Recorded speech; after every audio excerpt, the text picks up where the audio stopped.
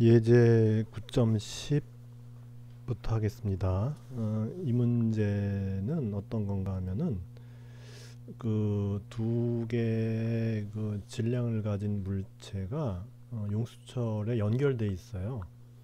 음. 근데 앞에서 예제 9.5가 있는데 거기서는 용수철이 하나에만 붙어 있고 하나만 떨어져 있었어요. 어, 근데 여기는 이제 두 개가 붙어 있어요 용수철에 음. 그런 상황에서 이쪽 한쪽에다가 힘 F를 가해서 액수한 만큼 이제 우, 움직였어요 음.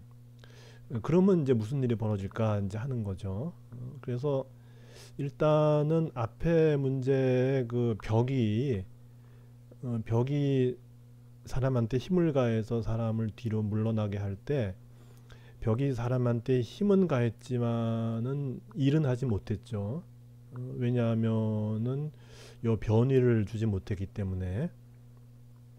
근데 여기서는 이제 이 힘에 의해서 힘이 쭉 가해지면서 액수한 만큼 이 물체를 이동시켰기 때문에 이제 이 힘은 일을 했어요. 음. F 곱하기 액수한 만큼 했겠죠. 그렇게 이제 일을 하고 그 일이 요 두 물체와 용수철 개에 전달이 돼서 어 이제 이 개는 그 에너지를 가지고 뭔가를 하는데 어 일단 생각해 보면 밀었으니까 밀리겠죠. 그죠? 그래서 이 두 용수철이 밀리면서 또한 무슨 일이 벌어지냐 하면은 용수철을 압축시켰잖아요. 그러니까 압축시켰다가 또 펴지겠죠. 그죠? 어, 그러다가 또 압축되고 펴지고 뭐 이런 식의 그 진동 운동을 하면서 어, 진행할 거라는 거죠. 그리고 여기는 우리가 뭐 마찰력이라든지 뭐 이런 어떤 에너지를 빼앗아가는 그런 요인이 없기 때문에 결국 이 가해준 에너지가 그대로 보존되면서 어, 이것들이 운동을 하게 될 텐데 뭐 어, 위치와 관련되는 potential 에너지의 변화는 없죠. 왜냐하면 이게 평면이기 때문에 어, 그래서 뭐 에너지가 뭐 위치와 관련된 potential 에너지로 바뀐다든지 뭐 이런 일은 생기지 않고 단지 이 용수철에 관련되는 potential 에너지로 바뀌겠죠.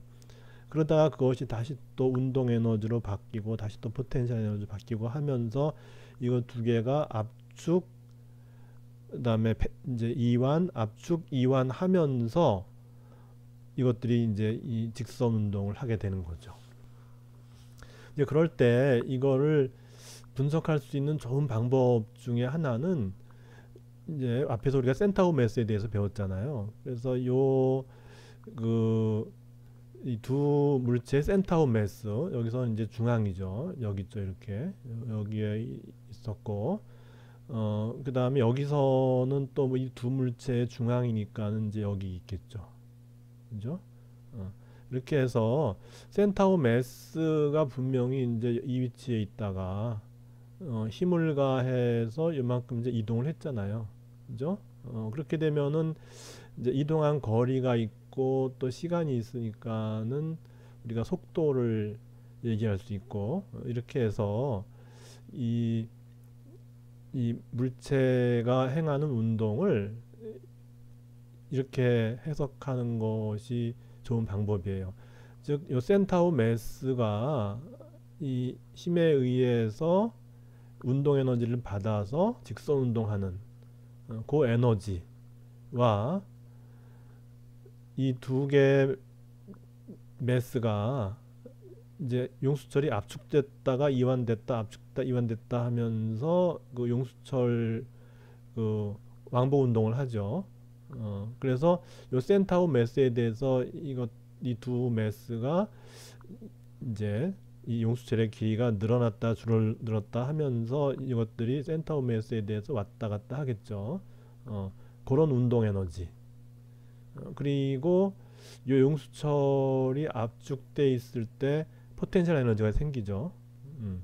그래서 그런 세 개의 에너지가 어떻게 관련을 가지고서 어, 변환하는지 뭐 이런 것에 대해서 분석을 이제 해보면은 이 운동을 이해할 수 있다는 것이죠. 어, 그래서 힘을 가하게 되면은 이게 요 매스가 액수한 만큼 이렇게 이동을 해요. 어, 이동하는데 그러면 요 물체는 원래 위치에서 얼만큼 이동하냐면 x2인데 요 x2가 x1과 같지 않다는 얘기죠. 어, 왜냐하면 요 용수철이 이렇게 이제 수축하면서 어, 처음에 이렇게 수축하게 되면서 아무래도 이제 요 매스의 그 힘이 어, 요거 이게 그대로 전달되는 게 아니죠. 그죠? 예, 예를 들어 요 힘이 요 매스에도 그대로 전달됐다면은 어, 그냥 여기서 요 힘에 의해서 x1만큼 이동할 때 이것도 똑같이 x1만큼 이동해야 되는데 그게 아니고 일단은 그 힘이 요 요 요 용수철에 전달되고 어 이제 그렇게 해서 용수철이 줄어드는 어떤 그런 작용을 하기 때문에 요, 요 매스에는 이제 힘이 일부만 전달이 돼서 요만큼만 이제 이동한다는 거죠. 음. 그렇게 해서 이제 이렇게 액수한 만큼 이렇게 그 이제 이동했을 때 어, 그리고 이쪽은 이제 x2만큼 이렇게 이동했어요. 그래서 요 값들은 이제 정해진 값이에요. 어, 그래서 요 용수철의 성질에 의해서 이제 결정되는 어, 요 힘을 가했을 때 요게 이제 x1 만큼 요 앞에 매스가 이동했고 뒤에 매스는 x2만큼 이동을 했어요. 어, 그 상태에서 요 힘을 제거해 버려요. 음, 더 이상 힘을 가하지 않아요. 그러면 더 이상 이 개에 에너지를 주지 못하죠. 어, 그러니까 요 힘에 의해서 일을 수행해서 이 개에 전달해 주는 에너지는 우리가 일의 정의에 의해서 F 곱하기 X1 만큼만 에너지를 전달해 주고 더 이상 이제는 에너지를 전달해 주지 않아요. 어, 그렇게 되면은 이 개의 총 에너지는 fx1이 되는데 그 총 에너지 중에 일부는 이것들이 직선 운동을 하는 음, 그런 에너지인데 그 직선 운동은 요 센타우 매스의 운동 에너지로 기술할 수 있고 어, 그리고 나머지는 요 센타우 매스에 대해서 요 두 개가 이제 처음에 줄어들게 했으니까 다시 또 늘어나겠죠. 어, 늘어났다가 다시 또 줄어들고 이렇게 용수철 어, 수축 이완하는 이제 그런 운동에 이 소요되는 어, 운동 에너지 어, 그리고 이제 용수철의 포텐셜 에너지 요 세 개로 우리가 나누어서 그렇게 이제 이해하면 되는 것이죠. 어, 그렇게 해서 이 첫 번째 질문은 일단 이 center of mass의 운동에 대해서 우리가 이해를 해야 되니까 센타우 매스가 처음에는 이제 정지해 있었죠. 이렇게 정지해 있다 이동하죠. 어, 그렇게 해서 일단 이 센타우 매스의 속도가 어떻게 변화하는지에 대해서 어, 알아보고 어, 그 다음에 이제 이걸 토대로 해서 이 두 개의 매스가 직선 운동을 하는 병진 운동 에너지 어, 그리고 그 이제 처음에 가해준 에너지의 일부가 또이이두 개가 진동하는 진동 에너지. 어, 이렇게 그 이제 세 개의 파트로 나누어서 이해를 해주면 되겠다는 거예요. 그래서 일단 먼저 구하는 것이 요 센타우 매스의 속도가 정지해 있다가 요 F를 가해서 X1만큼 이동했을 때 센타우 매스의 속도가 얼마만큼 증가를 하는지.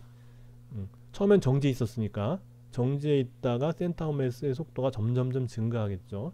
왜냐하면 힘을 가하면은 가속도가 생기니까 그 가속도에 의해서 센타우 매스의 속도는 0에서부터 쭉 증가해서 어, 떠한 값까지 이게 갈 거예요. 어. 그래서 요 x1만큼 힘을 가했을 때에 얻게 되는 요 센타우 매스의 속도를 우리가 이제 v 센타우 매스라고 이제 하게 되는 거예요.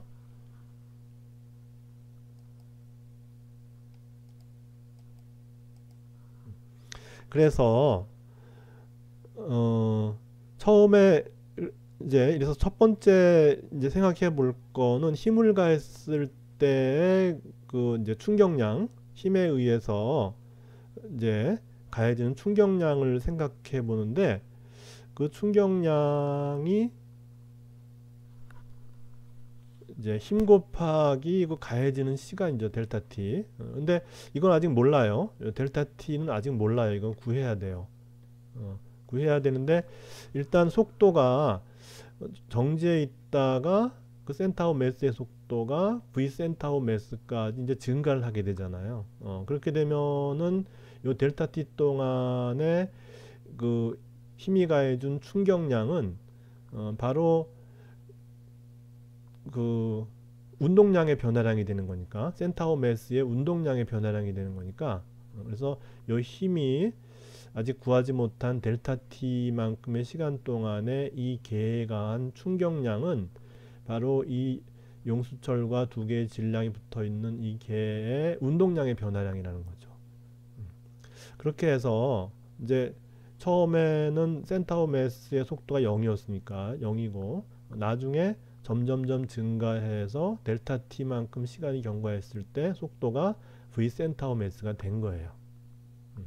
그렇게 되고 그리고 앞에서 우리가 이 다입자계에서 이렇게 전체 운동량의 변화량은 전체 질량 곱하기 그러니까 델타 P의 뭐 토털 전체 운동량의 변화량이 바로 이제 그 충격량인데 이거는 전체 질량 곱하기 이제 센타우 매스 센타우 매스의 속도 벡터의 변화량 이렇게 됐잖아요.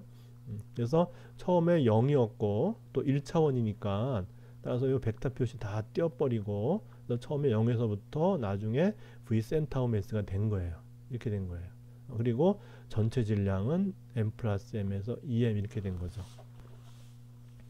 그렇게 해서 이제 이것으로부터 이 식이 나오고 어, 따라서 델타 t를 이제 우리가 알아봐야 되는데 이 델타 t라고 하는 거는 이제 어떻게 알아보냐 하면은 델타 t는 지금 속도가 속도가 0에서부터 센터 매스까지 갔죠. 어, 그런데 힘이 일정하게 힘이 일정한 힘에 의해서 갔기 때문에 결국은 델타 t라고 하는 거는 그 사이에 그 델타 t 시간 동안에 생긴 변위 나누 변위의 평균치 나누기 센터 매스 속도의 평균치 이렇게 해주면 돼요.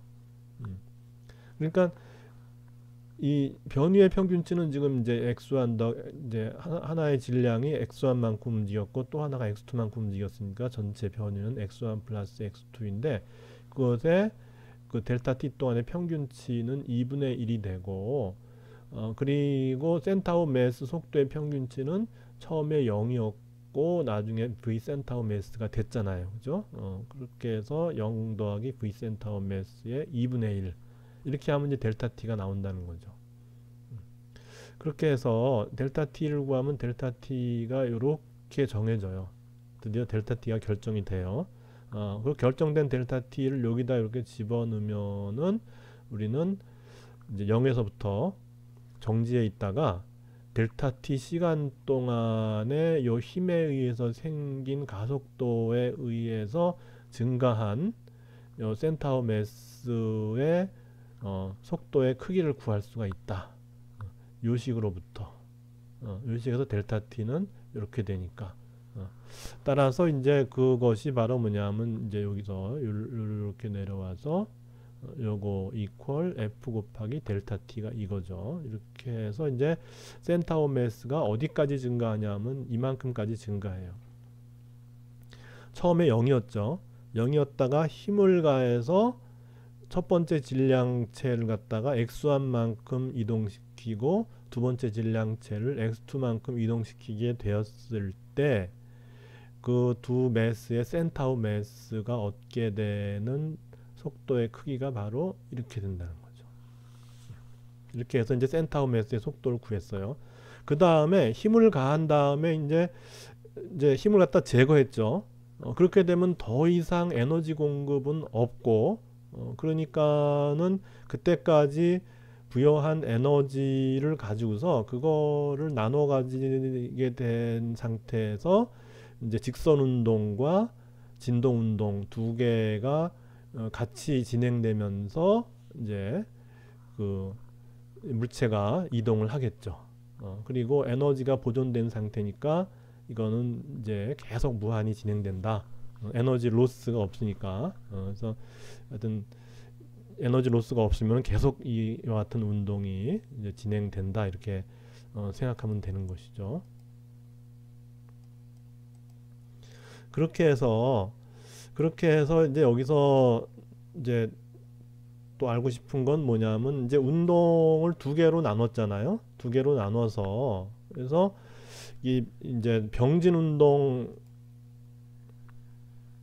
이 저기 센타우메스의 병진 운동 센타우메스의 병진 운동하고 그리고 두 물체가 vibration 하는 어, 그 에너지로 그 일이 공급이 된 거죠. 그죠? 그래서 이, 이 일은 이제 F 곱하기 X한 만큼 이제 공급이 됐는데 그, 엔, 그 공급된 에너지의 일부는 그 두 개의 물체가 직선 운동하는 어, 그 에너지가 되고 그것을 갖다 이제 우리는 이거라고 보는 거죠. 그러니까 처음 상 처음에 정지해 있는 상황에 대해서 요것만큼 증가한 거죠. 음, 그렇게 되고 마찬가지로 이제 정지해 있었는데 요 에너지를 줌으로써 요것의 일부가 어, 두 물체가 center of mass에 대해서 vibration 하는 그 포텐셜 에너지 플러스 kinetic 에너지 한 거.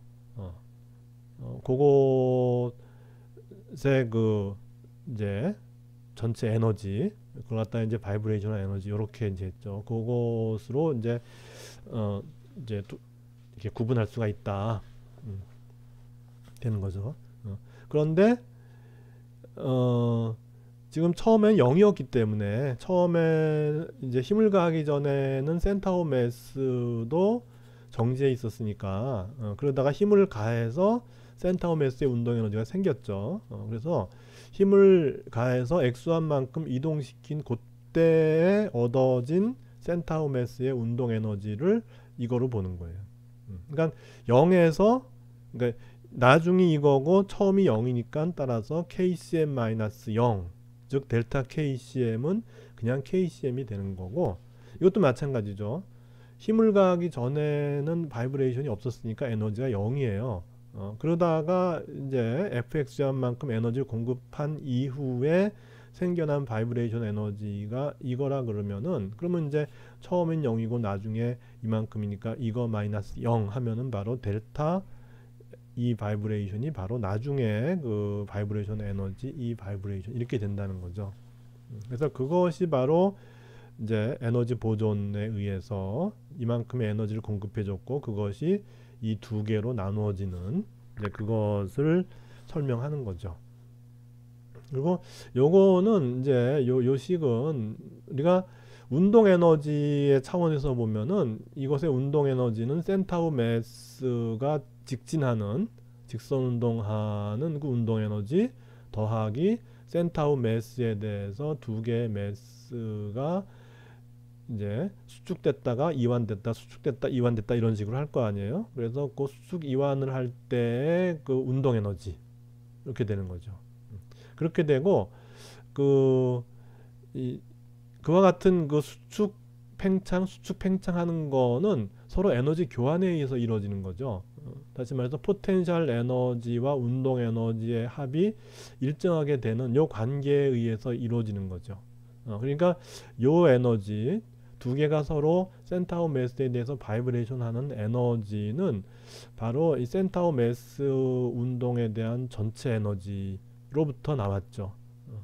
그래서 그 이제 용수철의 길이가 이완되게 되면은 어, 그렇게 되면은 이제 포텐셜 에너지가 줄어드니까 그러니까 포텐셜 에너지라고 하는 거는 용수철의 길이가 많이 변화하면은 그러면 이제 포텐셜 에너지가 커지는 것이고 적게 변화하면은 이제 포텐셜 에너지가 작아지는 것이고 그 평형 상태에 대해서 어, 그렇게 되는 거니까 그래서 포텐셜 에너지가 커지면은 운동 에너지가 줄어들고 어, 반대로 포텐셜 에너지가 줄어들어서 원래 길이 L에 가까워지면은 어, 그러면 이제 저 저기 운동 에너지는 커지는 것이고 그렇게 어, 그렇게 해서 요거 두 개의 합은 음, 요거 두 개의 합은 일정한 거예요. 음, 그러니까 여기 여기에서 요 에너지가 변하는 거죠. 어, 이것이 커졌다 작아졌다 커졌다 작아졌다. 그래서 이게 커지면 이게 작아지고 이게 작아지면 이게 커지고 해서 이거는 이거는 계속 변화하는 거예요. 근데 이거는 그 x1까지 이렇게 딱 이동시킨 다음에 힘을 끊었기 때문에 더 이상 에너지가 공급되지 않고 따라서 이거는 변화하지 않아요. 따라서 K는 이제 이런 식으로 우리가 전체 운동 에너지를 기술하고자 했을 때는 이 K는 변화하는 양이에요. 음. 왜냐하면 이게 변화하니까 이건 변화하는 거예요. 그래서 이런 식으로 기술하면은 이것이 변화하니까 이게 조금 좀 좀 그래요. 어, 그런데 이렇게 기술하면은 이렇게 기술하면은 요는 변화하지 않아요. 네. 어, 그리고 또한 이제 힘을 끄는 이후에는 이것도 변화하지 않아요. 어, 그래서 변화하지 않는 거, 변화하지 않는 거, equal 변화하지 않는 거 이렇게 되는 거니까 따라서 요 가해준 에너지가 일부는 요로 이제 전달된 거고 즉 center of mass의 직선 운동으로 전달된 것이고 그 일부는 vibration으로 전달된 것이죠. 음. 그렇게 했을 때 지금 이제 앞에 mass가 x1만큼 이동했고 뒤에 mass가 x2만큼 이동했을 때 과연 이 에너지 중에서 얼마만큼이 일로 가고 얼마만큼이 일로 가냐 하는 것이 이제 궁금한 거죠. 그래서 일단 이 식으로부터 이 식으로부터 우리가 이 vibration을 구할 수가 있어요. 그래서 어, 요건 이제 알고 있는 거고 fx1을 알고 있는 거고 fx1에서 kcm을 빼주면은 이 vibration이 나오는데 그럼 kcm은 어떻게 하느냐? 그거는 2분의 1 mv 제곱이잖아요. 그죠? 그래서 빼기 2분의 1의 전체 질량 2m 곱하기 v center of mass의 제곱 이렇게 되는 거예요. 음. 근데 v center of mass는 좀 전에 구했잖아요. 그죠? v center of mass는 어 저기 2m분의 어, f의 x1 플러스 x2의 square root였죠. 어, 근데 이제 이게 제곱이 되니까는 이제 루트가 벗겨지고 요거 요거 요게 되는 거죠. 그러니까 요거 대신 요거 집어넣어서 계산을 하면 되죠. 음. 그렇게 해서 보니까는 요 값이 어떻게 되냐면 요걸 계산하면 어, 마이너스 2분의 1에 어, x1 플러스 x2 이렇게 되죠. 그죠? 그래서 결국 이제 요, 요 계산은 어떤 게 되냐면은 f의 x1 마이너스 2분의 x1 플러스 x2 이렇게 되죠. 그죠? 어. 그렇게 돼서 그렇게 돼서 이제 이 결과는 이제 이게 되죠. 이게 어, 2분의 x1 마이너스 x2 이렇게 된다는 거예요. vibration 에너지는. 그러면은 요 운동 에너지는 어떻게 될까요? 요거 요거 집어넣으면 좀 전에 그 F 곱하기 2분의 X1 플러스 X2였잖아요. 그죠? 어, 요, 여기 이제 센터에서 이걸 집어넣었더니 요 KCM은 어떻게 되냐면은 2분의 F의 X1 플러스 X2예요. 그죠? 어, 그러니까 요 vibration 에너지는 2분의 F의 x1 마이너스 x2고 어, 요 KCM은 어, center of mass의 운동 에너지는 F의 2분의 x1 플러스 x2 이렇게 되죠. 음. 그렇게 해서 요 KCM과 이 vibration이 같은 것이 아니라 차이가 나죠. 어, 그러면 이것으로 보면 어떤 게 더 클까요? 어, center of mass의 운동 에너지가 더 크죠. 그죠? 이것이 이 vibration 에너지보다 커요. 얼마큼 크냐 하면은 이거에서 이걸 빼주면은 어떻게 되죠? 어, fx2만큼 크죠. 그죠? 어, 그렇게 해서 지금 이제 KCM이 KCM이 어, 요 vibration 에너지보다 이제 큰데 얼만큼 크냐 하면은 fx2만큼 커요. 음, 그렇게 된 거예요. 어, 그래서 직선 운동하는 두 개의 mass가 직선 운동을 하는데 이제 거기에 관, 관련되는 그 운동 에너지가 그 두 개의 mass가 center mass에 대해서 이완 수축 이완 수축 vibration 하는데 이 관, 관련되는 음, 그런 그 이 vibration의 total 에너지보다 크다. 어, 근데 얼만큼 크냐? fx2만큼 크다는 거죠. 그래서 아까 앞에서 그 힘을 가지고 밀었잖아요. 힘을 가지고 밀어서 이제 앞에 있는 매스를 x1만큼 이동시킬 때 뒤에 있는 매스가 x2만큼 이동했죠. 그죠? 어. 그거 이동하는 만큼 그 이동하는 만큼의 그 x2에다가 2를 했잖아요. 이만큼. 그죠? 어. 그러니까 저 뒤에 mass에다가 요만큼의 일을 한 거나 마찬가지인데 요 힘이 그죠? 그래서 그거만큼 이제 center mass의 운동 에너지가 vibration 에너지보다 큰 거죠. 음. 그렇게 해서 만약에 만약에 우리가 이제 그 질량체 앞에 있는 질량체에다가 힘을 가해서 x1만큼 이동하는 동안 x2 이동이 하나도 없었다. 그러면 어떻게 될까요? 음. 그래서 앞에 이제 그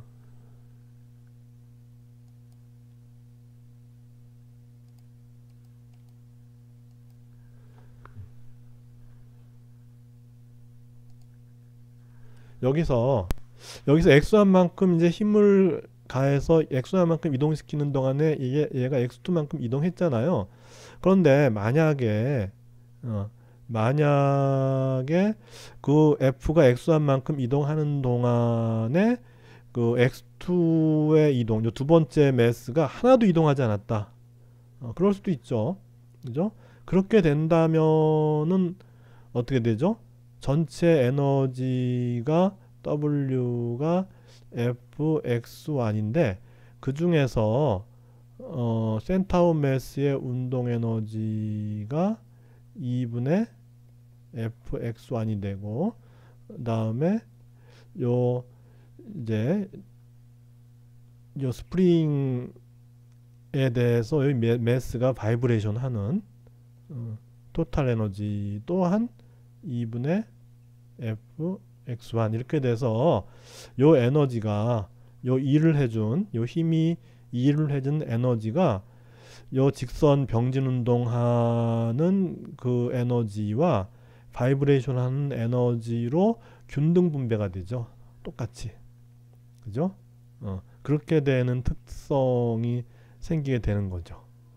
어, 그래서 어, 우리가 이 문제에서 이 문제가 약간 좀 까다로울 수 있는 문제인데 이런 문제가 굉장히 좋은 문제 같아요. 어, 그래서 이렇게 이제 에너지를 가했을 때 이것이 직선 운동하는 직선 병진 운동하는 그런 그 운동 에너지와 어, center mass에 대해서 vibration 하는 에너지가 어떻게 분배가 될까 하는 것이 이제 때에 따라서는 중요한 어떤 문제가 되죠.